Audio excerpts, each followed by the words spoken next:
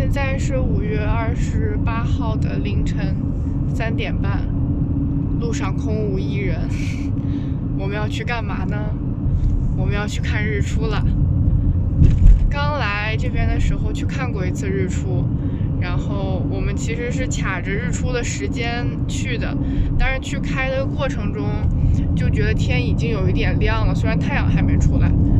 然后今天我们也睡不着，所以就索性去的更早一点。